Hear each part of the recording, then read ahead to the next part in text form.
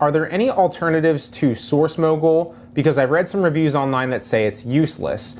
Uh, and I've heard this a couple times from a couple different people. No, it's definitely not useless. I use it myself. I don't do that much arbitrage um, via retail sites anymore. I used to. It's more of like a beginner kind of.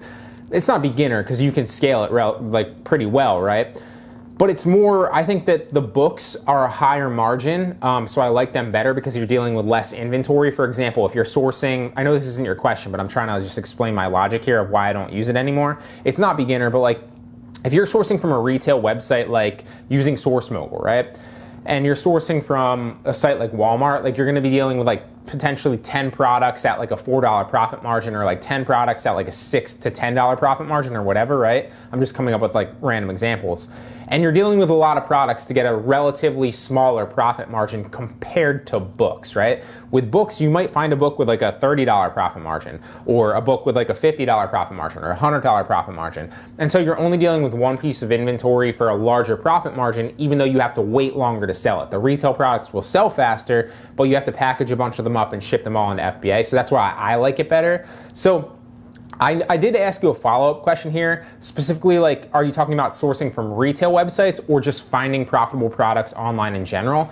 If you're talking about specifically sourcing from retail websites, to answer your question, Source Mogul is good. It's it's very very good. I use it all the time, and I well I used to use it all the time. I still do test it um, here and there, and I'm going to answer your next question because you actually asked asked the fourth question for this week's Q and A. So I still do use it from time to time to test different things because obviously I I have a course on this, and I want to make sure that things stay you know relevant and i can always kind of relay those things to students if they have questions um, so i don't typically use it a lot anymore but it does still work very very well but if you're specifically asking from retail websites its main competitor is tactical arbitrage which also works very very well I like Source Mogul a lot better. I've done a complete video outlining the differences specifically between like how to approach Source Mogul, how to approach tactical arbitrage, the pricing differences between them. Um, I believe that there's one in the course.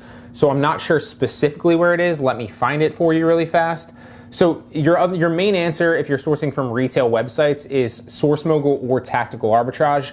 They both work very well. I've tried them both, um, and you can, if you don't find success with Source Mogul, try Tactical Arbitrage. But the people that say that, from typically what you're hearing in like forums or like Facebook groups, the people that say that Source Mogul doesn't work typically believe that because they use like a cached system and it doesn't update all the time, that it's useless. But realistically, what you need to do is you just need to go in and update them every single time, right? So you can't run the software and then come back like a week later and check those prices or all those products because the stock will be out of date. The price comparisons will be out of date. So if you plan on using Source Mogul, especially with like the tutorials in the course, what you just need to do is you need to update it right then and then go in, right?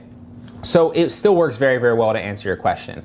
Let me find out where that actually is. I believe it's either in the searchable Q&A section, so I can point you in that direction, or it's in the actual um, retail website sourcing section. Let me find it really fast. So there's two on there, so just go to the searchable Q&A section, search for Source Mogul or for Tactical Arbitrage, and it should pop up with a few different answers. I have one of them. I also have a comparison video there. So there's a comparison video. I also answer that video uh, specifically in a different question as well. So that's where you can find the answer specifically comparing the two but they're both really, really good good ways to sort, uh, to search with software for retail websites. Now, if you're talking about just finding profitable products in general, then yeah, there's a million other ways out there to do it. There's a million other softwares, and obviously all the other sections in the course will cover that. You can use like a book flipping software like eFlip or Zen Arbitrage. You can use like a wholesale sourcing software like a Scan Unlimited. There's so many different softwares out there, and I don't want to throw you for too many loops because one of the best recommendations is like pick one thing, stick with it, and get good at it before you try to branch off into other things